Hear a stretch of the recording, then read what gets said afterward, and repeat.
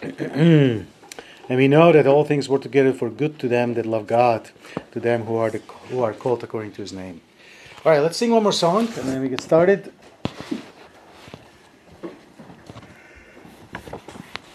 That'll be 303.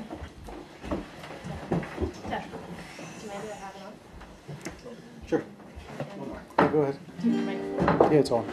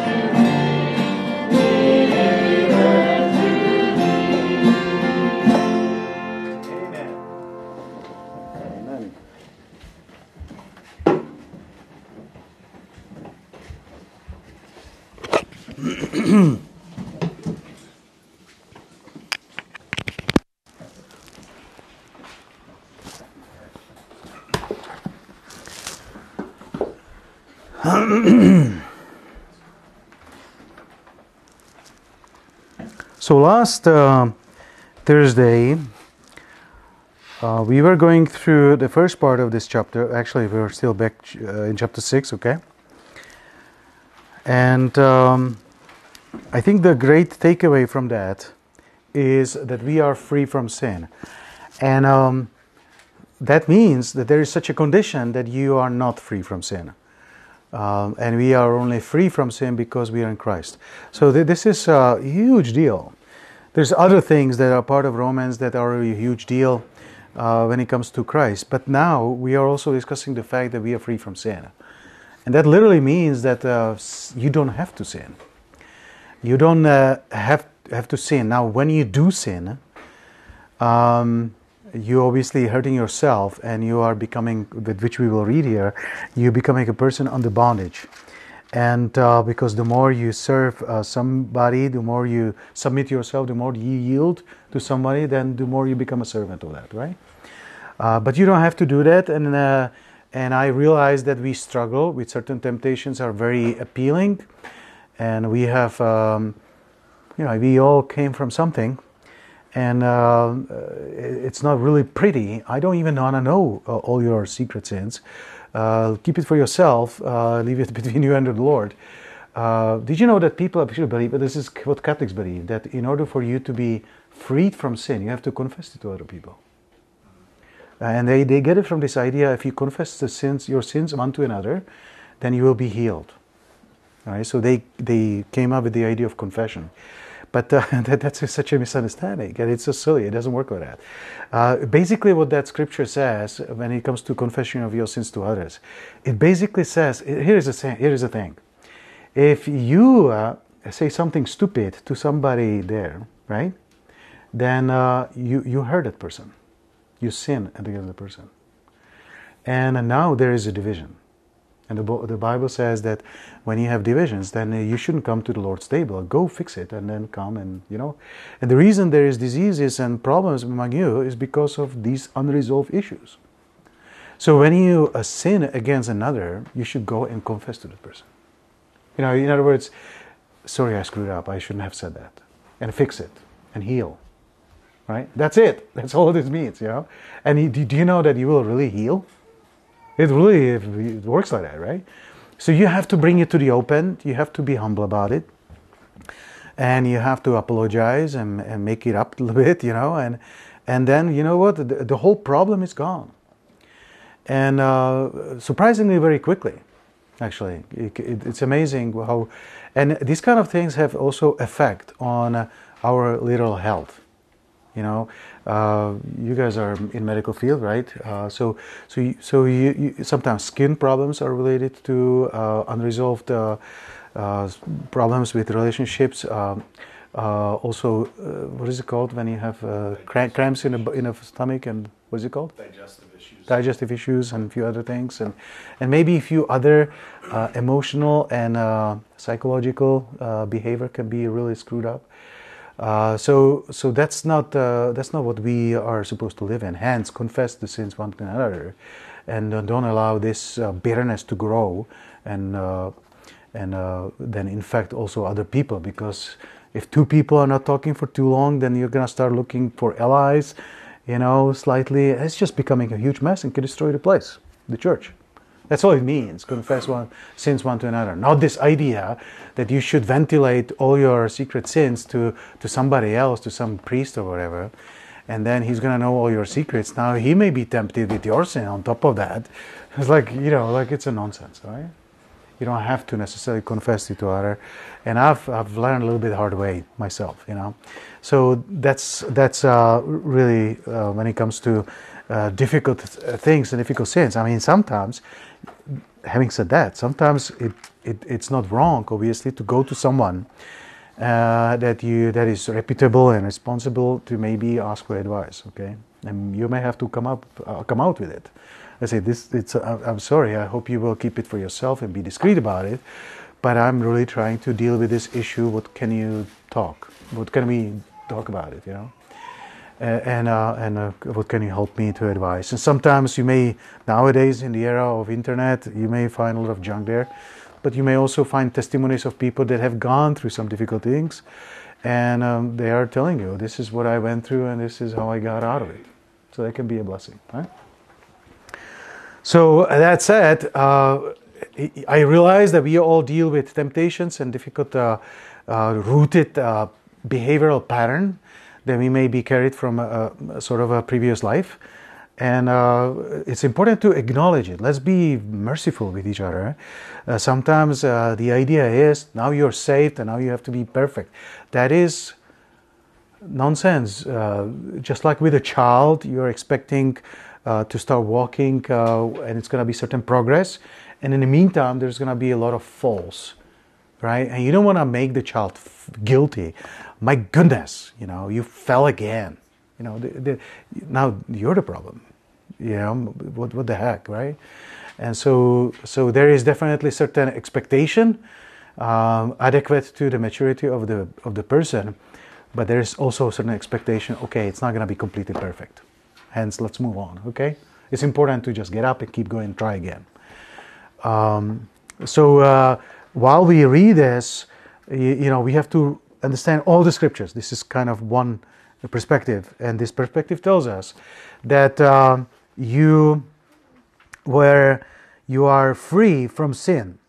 And the Bible tells us that in uh, uh, verse 7 For he that is dead is freed from sin. So we're talking about dead. And uh, how are we dead? We talked about baptism last time, remember?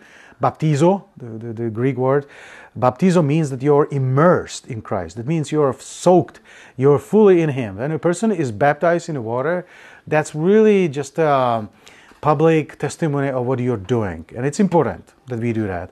But really, baptism, the kind of baptism that actually saves you, is that you are, you, you become uh, Christ, you, you're born again, you're baptized by the Holy Spirit, and you are in Him. And then you maybe physically go and do it and demonstrate publicly. But the Bible tells us that by baptism we are saved. And then people say, oh, you see, you have to be baptized in the water. Oh, you're not saved. No, no, no, no, no, no. That's not, not that kind of baptism. So when we're talking about you're baptized in the Lord Jesus, you are uh, immersed. Another idea is that you are pruned to Christ. So you, when you think about it, you take a branch that's from a different tree and and prune it to another tree, then uh, it is literally it gets everything from that trunk, from that tree. So it's it, even though it's come from a different foreign tree. Now it's part of it and it produces um, the things that come from the sap that come from the tree. And so that's the idea of baptism. That when you are baptized, you are literally one with Christ. And when you're being one with Christ, that means that everything that belongs to Christ belongs to you. And everything that Christ is, is you. So, for example, Christ, we know he died. Well, that means you died. We know that Christ is risen again. That means you are risen again. You know that Christ is in his glory. Then you are glorified that means that Christ inherits everything because he conquered the devil and everything. That means you inherit everything. You know? So, so it's pretty cool deal, and I made that point before many times, that with Christ you have everything, without Christ you have nothing. Uh, and uh, so that's very important we understand. So if we go now to, the second part of the chapter uh, 6, uh, we will pick it up at uh, verse 14. For sin shall have no dominion over you, for you're not under law but under grace. All right, so there you go. I mean, the Bible clearly tells us that if you are dead in Christ, that means that you are born again, you're baptized uh, into Christ. And if you're baptized into Christ, you're baptized to everything the Father, the Holy Ghost, and Christ. When you are baptized in Christ, th- that's true about you. So you're dead to sin, and that means that you are not no longer under the dominion of the sin. In other words, uh, before that you are under the dominion of sin. You are under the dominion of death also. But you're dead. You're already dead. So the dead has no longer dominion over you. Sin has no longer dominion over you. And we obviously deal with the reality of death or potentially, well, we are dealing with the reality of death, period. We're all going to die. And maybe sooner, maybe later, but we are subject to that in this body. But in some, and, and when you are dead in the body, essentially, that's in some ways freeing, you know, because you you leave everything behind, um, and uh, so all these obligations. Let's say there's a debt, you know, that you racked up, you know, uh, well, that's gone. You you're dead, and there's no way to get it from you, you know. So uh, you are in some ways free, but if you don't have Christ, then it's kind of weird freedom because then you you still face God with uh, the, the, your your sins and everything. So so you're not really free. Uh, but here's how it works with the law, of course, and this is obviously not that uh, shocking. The fact is that when uh, there is a contract between two two parties, uh, there are certain contracts that finish with with death, and most notably, we know we know that marriage works like that, right? So marriage we're not Mormons. Mormons believe in a marriage forever, right? Uh, we believe that till death do us apart. Hence, you should not uh, make it shorter by divorcing, and you should not make it longer by Mormon style. You know, it's till death do us apart. In other words, this contract ends with uh, the death of uh, one of the spouses. And uh, a good example of that is, of course, uh, David uh, is this lady, but um, Abigail, right? Abigail was married to this. Who knows his name? Um, Or, Nabal. Nabal, yeah. She was married to Nabal, this uh, this guy that didn't have much uh, appetite for David, and uh, and we know that David was about to go and kind of punish him for um, for being rude to him and, and nasty, not not helping him when he helped them all along, and uh, believing the, the the lies that came from the palace, how David was a bad dude, whatever, right? And uh, Nabal uh, almost uh, destroyed his own household. Then we know that Abigail, because he was drunk, he, she actually took uh, the things in her own hand, and she met David and bowed her before him, bring him, brought him some food, and basically asked him to, to spare them and provide for them. And David was thankful to her. It's good that you came because I was about to do something terrible. And we know what happens when she comes home. Uh, her husband is drunk, so she's not dealing with him. But the next morning, where he sobered up a little bit, she comes and tells him, Hey, by the way, you should know that I actually went to David last night and I brought him all the food uh, that you first rejected. And when he heard that, remember, he got a stroke and uh, a brain stroke. So, so he, he basically lost uh, either, either he lost conscience or he maybe he he probably have lost conscience. Yeah, he, he, he basically was vegetable for the next 10 days. And then for the 10 days, uh, she is stuck with her husband and she cannot leave, right? She doesn't leave. She cannot leave. Why? Because of the law. And the law is broken when she, when somebody dies. Now there is two people that can die here, either Nabal or she dies, right? But until there is a death, she has no right to leave. And we live in a society where this is not understood because you have a no fault divorce. You know, that's nonsense. This is such a travesty that the government allows. Uh, you know, I married uh, Danny and, and, Rebecca, and uh, they tell you there's, there's a whole document you have to study in order to do everything properly. You know, so there's so much rules, you know, so you, it would make you think that it's very important to them. But then if you want to divorce it, it's a lot easier to divorce it than to make them married. You know, it is weird, nonsense. Uh, so it's a terrible disservice to the public. Um, so we don't like that though, right? People don't like that. Uh, the fact that there's there's no uh, people love the idea of no fault divorce. You know, if you just get tired of it, I make just uh, I can just get out of it. Well, that's not right. You are stuck in the law. You are under the law, and uh, this is a good example of that. There's other examples of the law, and we read it in chapter seven. And the law is the more I try to do good, the, the, I, I, just can't help it. It's the law. You know, so it's like a gravity. You can think of uh, and desire, I wish I could fly. No matter how, how much you try, you always fall down. And the higher you go, the, the, the harder the fall is going to be. So it's a law. You can't escape it. And uh, we were talking about different laws, you know, uh, how, we are, how we are going to be freed from that you know, uh, free from gravity, free on entropy, and few of other things. Uh, you are subject to aging. You're subject to dying. You're subject to uh, all sorts of uh, things. You're subject to taxes. You know, you're subject to stupidity out there. You're subject to so many different things uh, that wouldn't be wonderful if we can be free from it, right? But you can be, not in this world. But the Bible tells us here that we uh, are no longer under dominion of the sin. And we are not under the dominion of the law. That's a big deal. That's a big deal. That means that, um, you know, I was explaining to once, if you're driving on a highway and you get a ticket, it's almost like the ticket uh, has no power. Yeah, so we have a speeding, but uh, I'm free from the law. It really means that.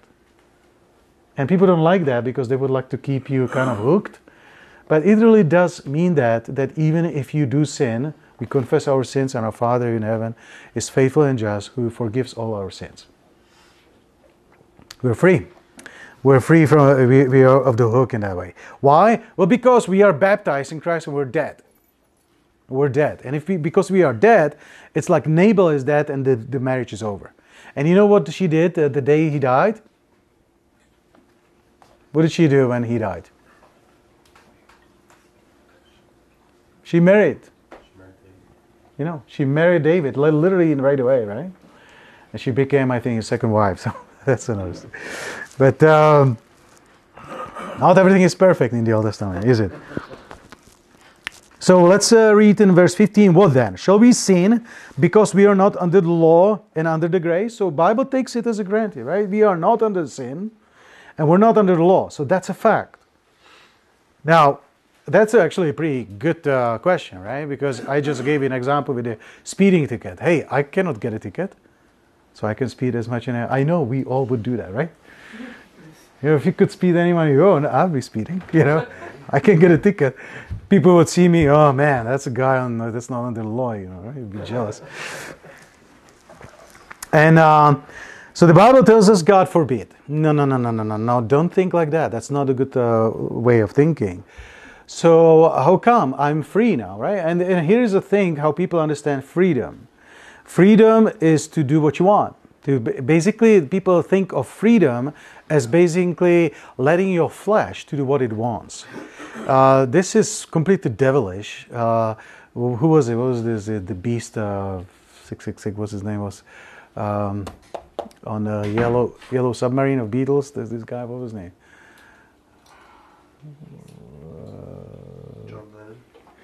He wrote. Uh, yeah, he's one of the Beatles, but. Uh, Aleister Crowley, yeah, Aleister Crowley, right? So he said he, he wrote the Satanic Bible, right, 1969, I think, you know, in California. Uh, he says, "Do what thou will shall be the whole law," right? And there's other things he said that are on the same on the same wave. So the idea of uh, freedom, and I think uh, when people talk about libertarians, you know, you you know libertarians, you know, there's a political movement that's a libertarian. These people basically have the idea that libertarianism is that you just anybody do what I want. It's more like anarchism, really. And I don't believe in libertarian movement. You know, like Ron Paul in the U.S., that would be libertarian. And uh, it's just, it's just. Uh, it, that's a little different understanding, the way I understand freedom. Freedom is that you are, I think, when it comes to sin, one way to see it, when it comes to liberty f- from sin, could be, hey, I can do now whatever I want, all right? Not, not like that. That's not right. The freedom is you don't have to sin anymore. See, that's the freedom, right? Mm. That's the true liberty. And we just read it. You're no longer under dominion, meaning you don't have to sin. It's not like you are free to just let your flesh go. I mean, really, is that what Jesus died for? So you can just live like a devil, you know, and not be accountable for it? That's not the point of that, right? So you're free. In other words, you don't have to do that anymore. And people that, let's say, have been on drugs and are terribly addicted to that terrible habit, right? Uh, they are free to take drugs. But they will tell you if they get out of it, if they don't die in between, they'll tell you, uh, they will admit, I was in bondage. And uh, what do they call when they get off the hook, right? They say, I'm be free from drugs. So you, do know that? You know that the freedom is actually being uh, not under the dominion of your flesh, right? And that's really the point. That's really the key. So let's understand liberty and freedom proper properly. Um, what then? Shall we sin because we are not under the law but under grace? Verse 16 now. Know ye not that to whom ye yield yourselves servants to obey, his servants you are to whom ye obey, whether of sin unto death or of obedience unto righteousness. So there you have it. Uh, who you serve, him as his servant or her servant or its servant, you become. And uh, there's something that hit me, uh, by, by, unfortunately, by too much of experience as opposed to just learning it from others. And that is that uh, if you have a certain weakness in your flesh, and you you just do not restrict the flesh, you just always give it what it wants, then it, it it's like a it's like the flesh gets bigger. It's like the the the, the, the power of it becomes bigger. So next time it's going to be harder to say no you know, because you just fed it. You know, it's it, imagine like if you give it, it's almost like you give it a sugar. And when you give it a sugar, it just gets slightly bigger. And next time it's going to be almost like a Goliath. And you know what happens when there is a Goliath? Nobody wants to fight it, right? Because it's just too big now. And uh, it becomes very difficult to battle to kind of turn back and say, no, no, no, from now on, I'm not going to do that. And, and it's, it's going to be a little bit harder um, because now you're dealing with a big issue. When, uh, if you manage it while it's still small, it becomes a lot more manageable. So we should not underestimate the power of the flesh. And so the Bible tells us here that if you become, if you obey something, someone, or whatever, or that little passion that you have, if you just obey it, if you always give it what it wants with no restriction, well, then don't be surprised that it's going to be strong in your life. You know, you're going to be a little bit under that uh, uh, bondage. But be uh, God be thanked that ye were the servants of sin, but ye have obeyed from the heart that form of doctrine which was delivered you. Being then made free from sin, there we have it again. Yeah. So now considering that, assuming, uh, uh, appreciating the fact that we are free from sin, ye became the servants of righteousness. So now it's a matter of whose servants we become. Now I suspect, I don't have it here, but maybe some of the Bibles they will have instead there's a lot of servant word here right? Maybe some of the bibles turn the servant to slave you know that would be calvinistic idea. And so uh, think about how nonsense it is. You know if you are free how could you be a slave? You see slave means that you can't help but to do good. You know that would be proper slavery and i don't have it because i i know I, am more like uh, more like what we read in chapter 7 i would like to but you know there's something in me that fights me and uh, we were talking about John Wesley, the error of John Wesley. The idea of John Wesley is that if you properly die, which implies that you're not dead, even though you're a Christian, you're not quite dead. And I reject it wholeheartedly. But he preached this idea that uh, you have to, through uh, f- proper things, through preaching through through come to the church and through fasting and praying and doing everything right then when you completely die when you completely die then then you're free finally.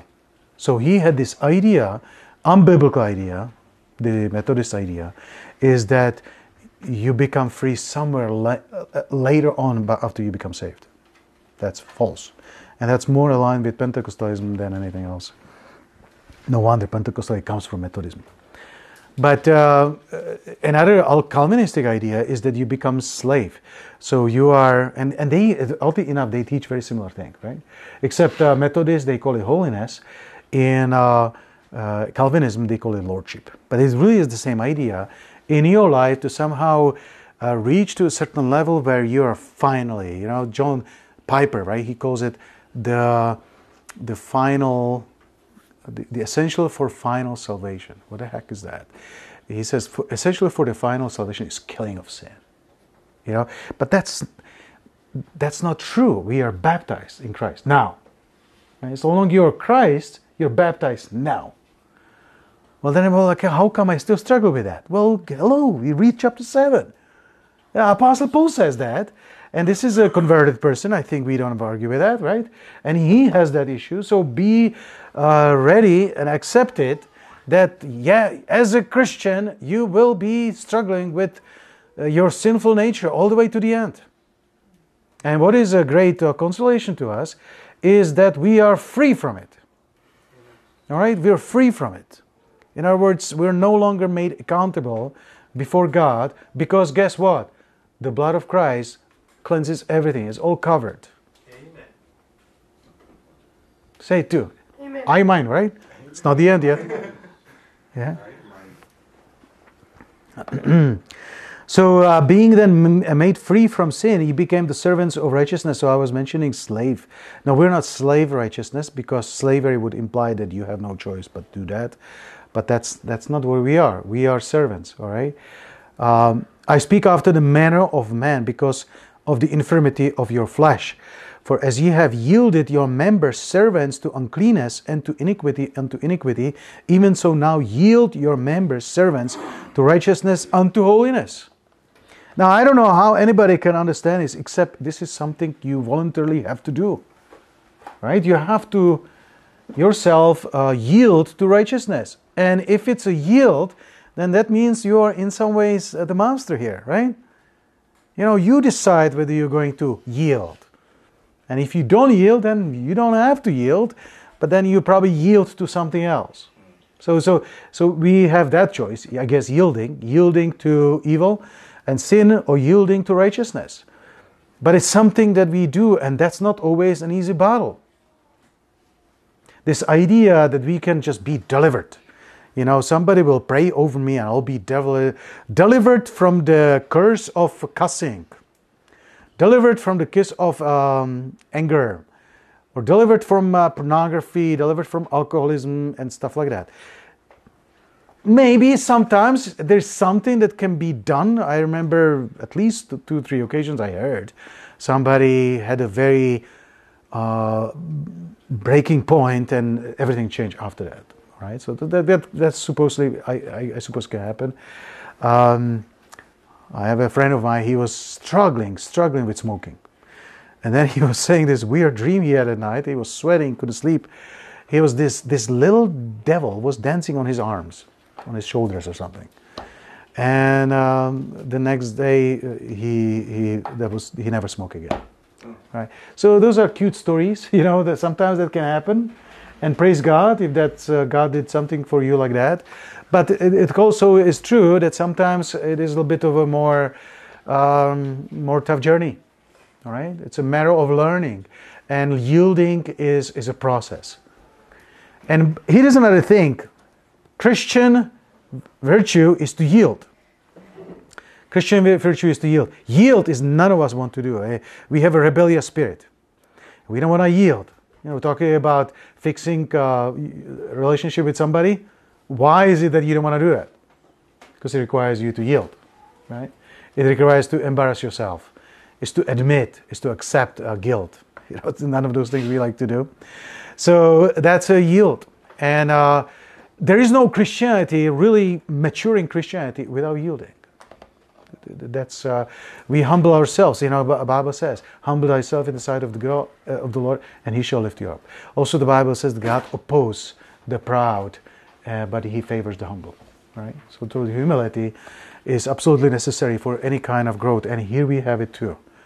You want to grow. You want to you want to um, submit you, you want to be a person that follows the righteousness that which which actually belongs to us this is our status our status that we are just and righteous. Our status that we are dead to sin and we are alive to christ right? That's our status. But when it comes to our flesh our flesh is fighting against it. And so we need to yield.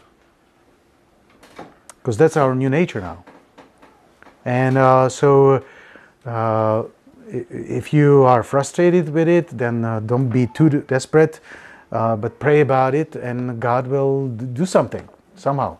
Maybe write down the progress. You'll be surprised. You may be just frustrated with yourself because you always see only the pile of work ahead of you. Uh, but maybe if you actually look back and say, hey, actually, I don't, there is a change in my life here. I used to struggle with this and it's not as bad because the Holy Spirit works with you and, and, and, and does that, okay? Uh, for when you were the servants of sin, you were free from righteousness. All right, so this is another thing. Uh, you will recognize that this works like that. I don't know what about you, but uh, I was, um, until I was 15, I was lost. So I got saved when I was 15. Um, so before that, for me, it's true that until I was 15, uh, I was the servant of sin.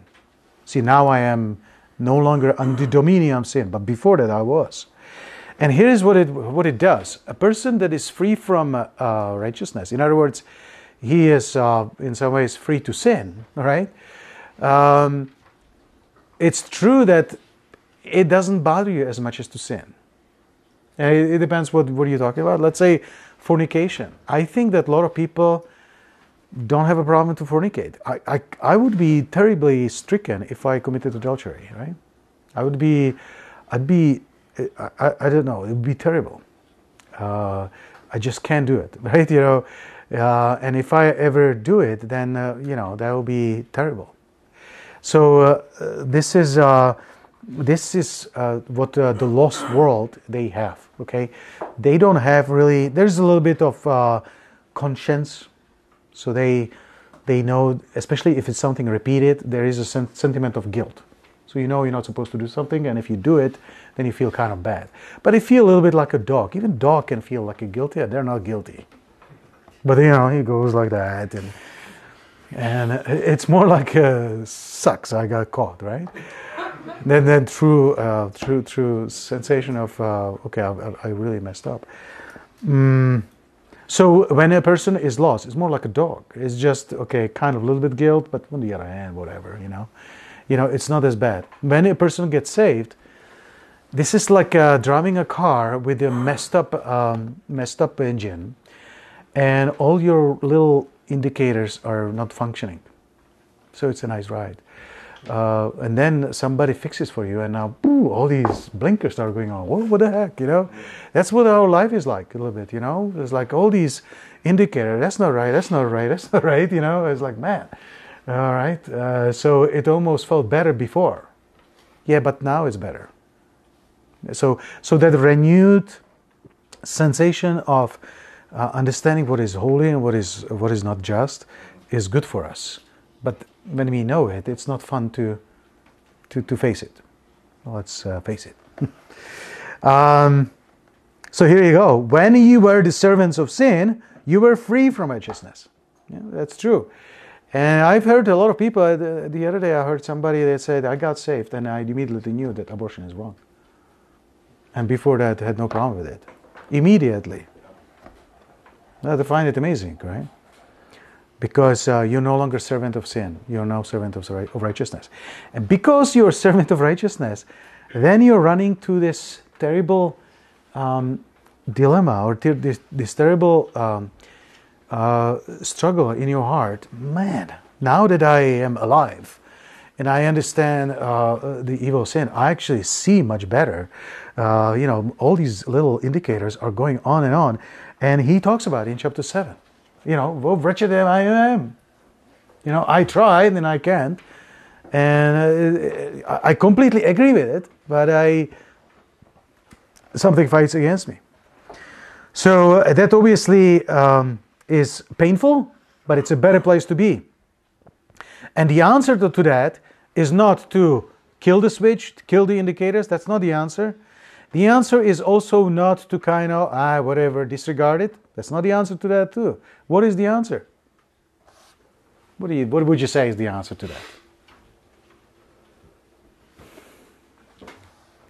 The answer to that, uh, you see, before, before you were saved, you were free from uh, guilt and that sort of thing, right? Well, now you're not. Now uh, the conscience is there and it bothers you. And you don't like it. So, what do you do with that? Well, you can try to not do it anymore so that all the lights go off. So that would be nice, you know? Except, uh, uh you know, the one stops and the other one goes on. It's like all over the place, right? So that seems a little bit frustrating. You can just disregard it. Some people do that. Don't worry about it, right?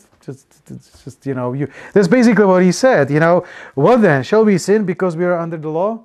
So that's basically people are suggesting, well, why do we even bother about these lights? Well, it's just a fact we're sinners, so let's just be happy that we go to heaven.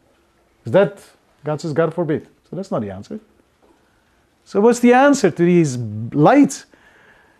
to, to, this, uh, to this mess on the dashboard of your life? You know, what's, what's the answer to that? You can't quite fix it. It's not right to disregard it. What do you do with that? The answer is the, in the end of chapter 7. I thank God. I mean, that basically 24 expresses that. Oh, wretched man that I am. Yeah. Oh, wretched man that I am. Who shall deliver me from the body of this death? And the answer to that is this I thank God that through Jesus Christ our Lord, so that with mine I myself serve the law of God, but with the flesh the law of sin. And that's a that's a iffy thing for some people, that um, uh, we have to accept the fact that our our flesh, your flesh, is sanctified. You're sanctified, and it certainly belongs to God because He paid for it. But your flesh his destiny, its destiny, is in the in the ground. We're gonna have to let it go. And so in the meantime, we kind of take it with us, and we are a little bit patient with ourselves, and understand that thank God, okay, I I am free, I am a, a new man, but with my flesh, I serve the the, the law, but yet I am not under dominion. I am no longer responsible. And then, of course, in chapter 8, it actually explains that you are indeed free from um, from the, the, the, you know you're free you know, because you are living uh, according to spirit leave, that for another time. So verse 21 still chapter 6 what fruit had ye then in those things whereof you are now ashamed? For the end of those things is death. Right? So the point is what was it? So okay so you could do whatever you want. The dashboard was off. It didn't bother you. You could just do whatever you but what was the advantage? You know what was the benefit of that? Well nothing. You were just you were dead and you were condemned. But now being made free from sin and become servants to god you have your fruit unto holiness and the end everlasting life for the wages of sin is death but the gift of God is eternal life through Jesus Christ our Lord. So you have the two dilemmas, two options, two ideas, uh, two versions, or two, two paths. Either a person is under sin, then you get your wage, or you are free from sin, and you are you don't get the wage, which is a bad thing, but you are under grace of God, and you get gift. And the gift is, of course, um, eternal life and uh, justification and righteousness. So, what's the takeaway from this? What's the takeaway from uh, uh, this chapter 6 and partially chapter 7? So, we learn that uh, we are no longer under uh, the, the dominion of sin, yet at the same time, we acknowledge that it is a battle. Uh, I wish I could stand here and say, brothers and sisters, we are free and if you just come here and I'll lay hands on you, you fall backward, you're going to be free and you're not going to have a tendency to sin. Well, that would be a lie. And uh, it's nonsense. It doesn't work like that.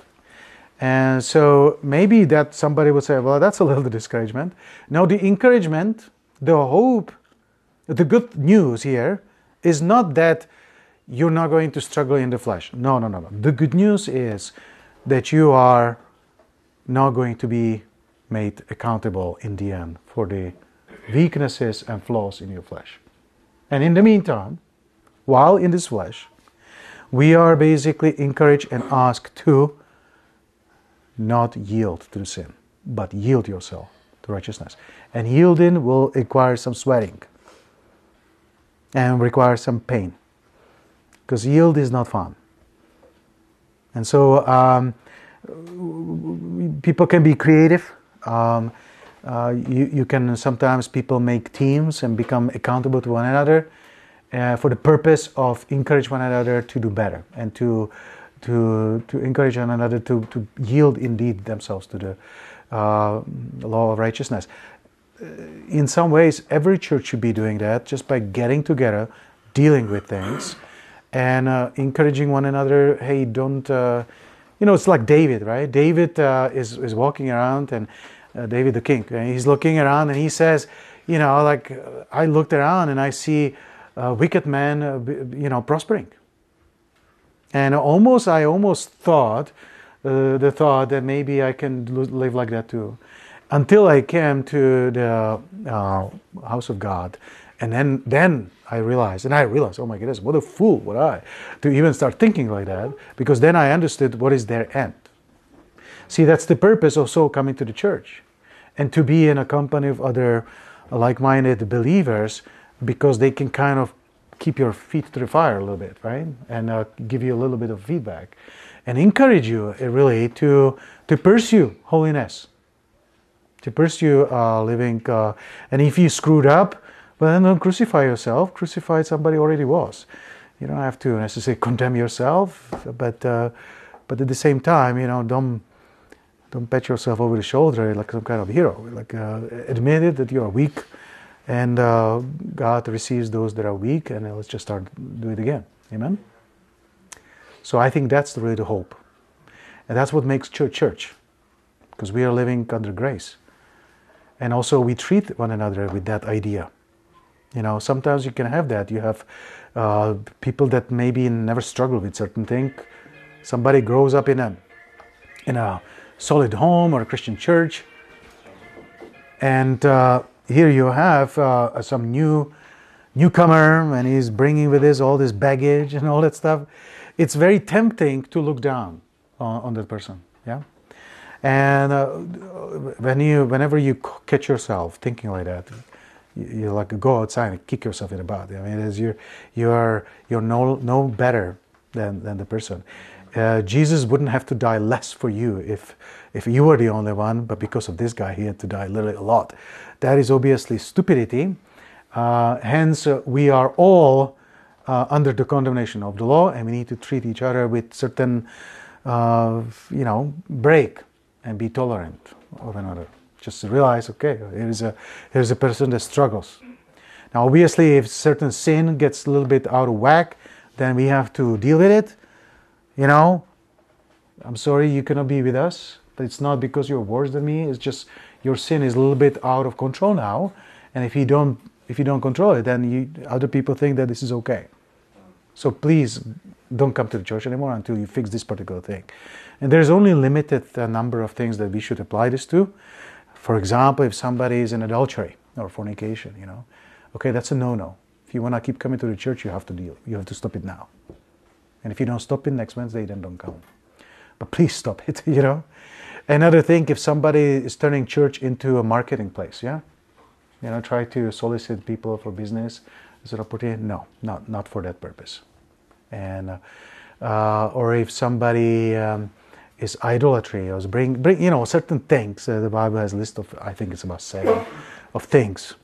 Uh, often this is mispracticed. You know, people are kicked out because they don't have a right bonnet, right? In the Amish circles, people are kicked out because somebody follows this this preacher.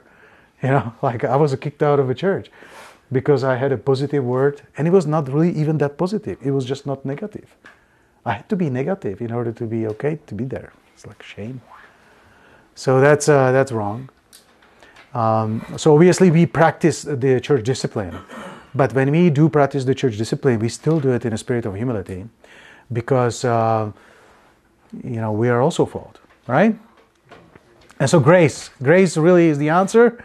The answer is I thank God it's a gift of God. And the only thing you can do is not to pay for anything. You can only, you know, he's asking, who, sh- who shall deliver me from uh, the body of this death? I thank God. God does it through Jesus Christ. So then we accept the fact, okay, I myself serve the law of God, but with flesh, the law of sin. But I'm dead to sin. And while I am in this flesh, it's going to be a little bit of a pain uh, but uh, it's just temporary. Then we are going to dump this body. God is going to give us a new body, and then we're going to be flying. Amen? All right, let's uh, finish with that. Let's uh, bow our heads in prayer. Our Heavenly Father, we thank you for giving us such a wonderful answer to our frustration with our own sin. And Lord, uh, help us to want to live a holy life. Help us to also encourage one another in a spirit of grace in a spirit of understanding and, uh, and humility to, uh, to, to indeed uh, yield our uh, body to the law of righteousness. And we, Lord, we, you know very well that it's far from perfect, but uh, at least we know that we don't have to be nervous or somehow concerned about our security of our life and of our salvation just because we stumble here and there even if it's a serious stumble. And yet, uh, we, as far as our, our mind, as our soul, we are secure. And Lord, even when it comes to the flesh, help us to be good stewards and uh, uh, learn to submit and yield with our flesh to your law and uh, to your to your word. I pray in Jesus' name. Amen.